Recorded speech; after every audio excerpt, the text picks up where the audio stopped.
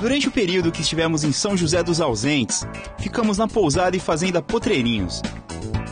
Neste lugar incrível, fomos recebidos por Dona Nilda, que conquista por sua simpatia e dedicação. Recebe a todos de braços abertos e com uma comida campeira irresistível. Difícil não sair com os pesos a mais de sua pousada.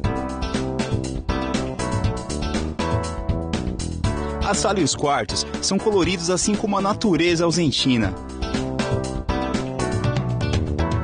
Os retratos antigos da parede parecem vigiar a conservação original do lugar, rústico e muito aconchegante.